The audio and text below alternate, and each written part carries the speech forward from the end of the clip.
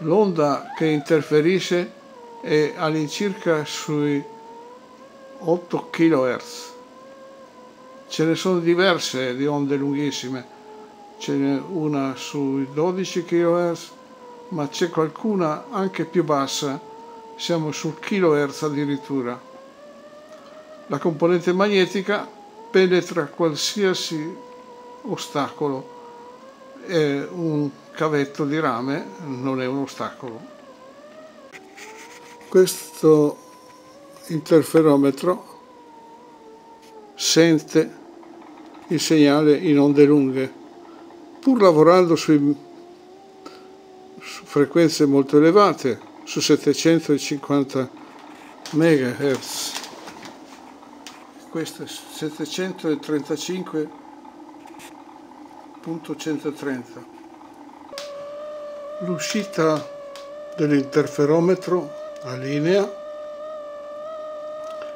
entra sia in questo tester che misura in millivolt sia in un convertitore VCO un, un oscillatore variabile con la tensione voltage controlled oscillator. E questo è il segnale che si sente. Contemporaneamente si vede la variazione di tensione.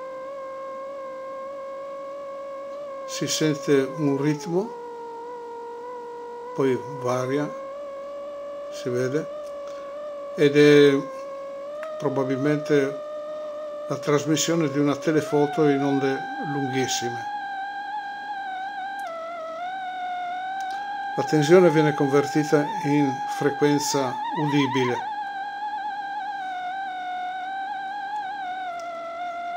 A quanto si vede, l'oscillatore